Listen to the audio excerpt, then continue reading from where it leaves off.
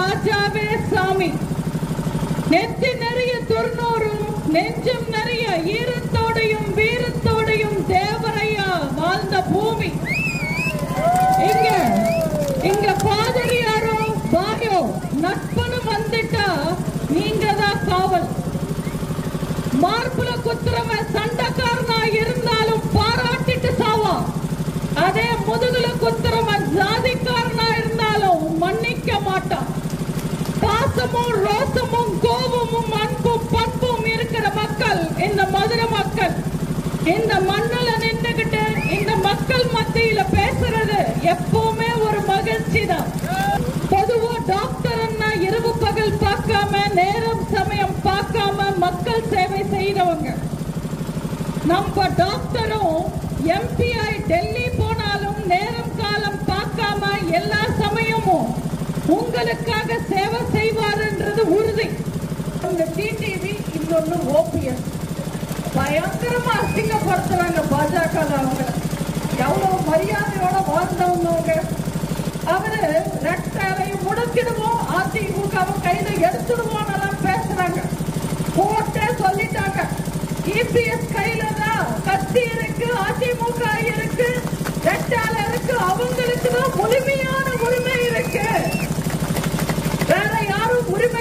முடியாதுன்னு கோர்ட் சொல்லிட்டாங்க அதனால பக்கெட் சின்னம் கேட்டு போயிருக்காரு. யாரோ ஜோசியர் சொல்லியிருப்பாரு. நீங்க பக்கெட் சின்னத்துல நின்னா ஓட்டெல்லாம் வாரி எடுத்துடலான்னு. அதனால பக்கெட் சின்னம் கேட்கிறாங்க நீங்களே யோசிச்சு பாருங்க. இவங்க எல்லாம் மக்களுக்காக கூட்டணி சேர்ந்திருக்காங்களா? மக்கள் முன்னேற்றத்துக்காக பாடுபட கூட்டணி சேர்ந்திருக்காங்களா?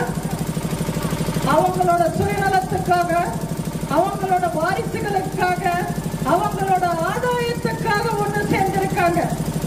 இந்த கூட்டம் எல்லாமே நம்ம வீட்டுக்கும் நாட்டுக்கும் கேடு. தயவு செஞ்சு இவங்களெல்லாம் நம்பாதீங்க. என்னை பொறுத்த வரைக்கும் திமுகக்கும் பாஜகக்கும் பெரிய வித்தியாசம் எல்லாம் கிடையாது. திமுக பயங்கரமா பொய் சொல்லும். பாஜக சொல்ற பொய்யும் பயங்கரமா சொல்லும். திமுக பாஜக இந்திய மாடலனை ஏமாத்தும். திமுக கடவுளை திட்டிக்கிட்டே சாமி கும்பிடும்.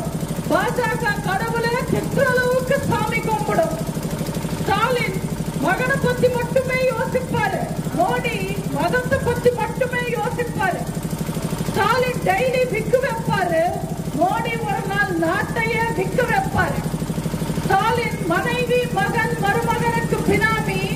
மோடி அம்பானி அதானிக்கு பினாமி திமுக மக்கள் கிட்டயே திருடுவாங்க. பாஜக மாநிலங்கள் கிட்டயே திருடுவாங்க.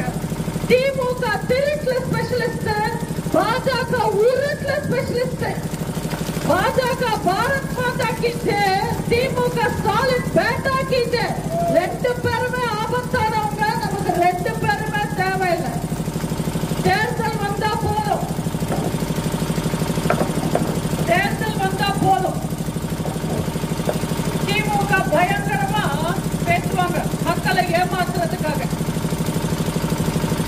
இஷ்டத்துக்கு தேர்தல் அறிக்கையெல்லாம் தருவாங்க.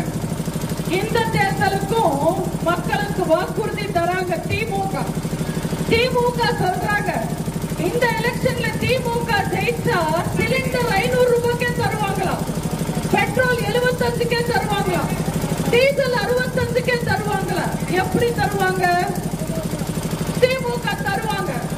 ஐநூறு ரூபாய்க்கு சிலிண்டர் தருவாங்க. ஆனா உள்ள கேஸ் இருக்காது. எழுபத்தஞ்சுக்கு பெட்ரோல் தருவாங்க. அதை அரை லிட்டர் தருவாங்க பாதி தான் ஊத்துவாங்க. அறுபத்தஞ்சுக்கு டீசல் தரேன்னு சொல்லுவாங்க தருவாங்க. ஆனா தகுதியான டிரைவர்ஸ்க்கு மட்டுமே தருவோம்னு சொல்லுவாங்க. யாருப்பா தகுதியான டிரைவர்ஸ்னு கேட்டா கண் பார்வை இல்லாதவங்கன்னு சொல்லுவாங்க. திமுக சேர்ந்து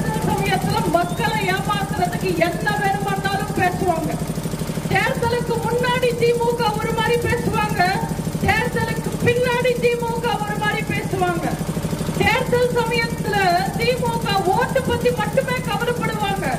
தேர்தல் முடிஞ்ச உடனே திமுக அவங்க வீட்டு பத்தி மட்டுமே கவலைப்படுவாங்க. தயவு செஞ்சு அவங்கள நம்பாதீங்க.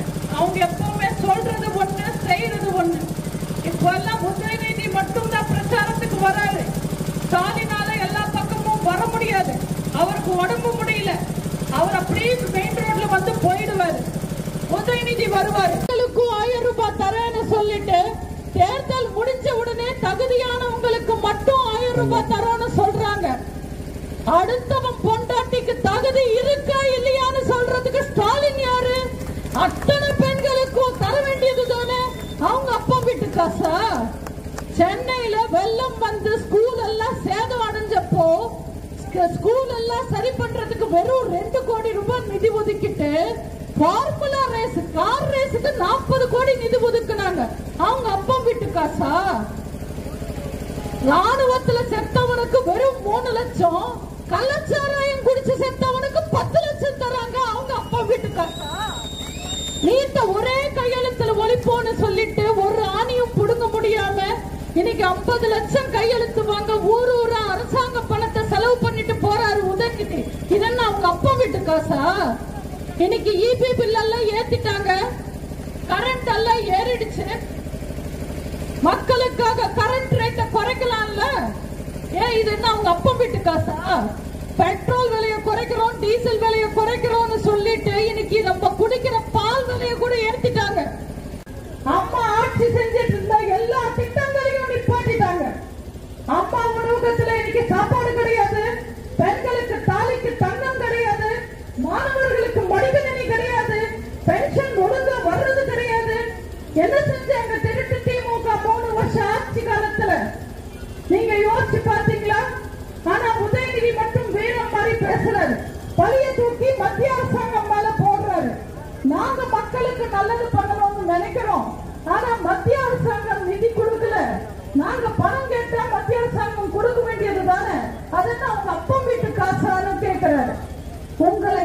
ஏமாத்துறதுக்காக ஆனா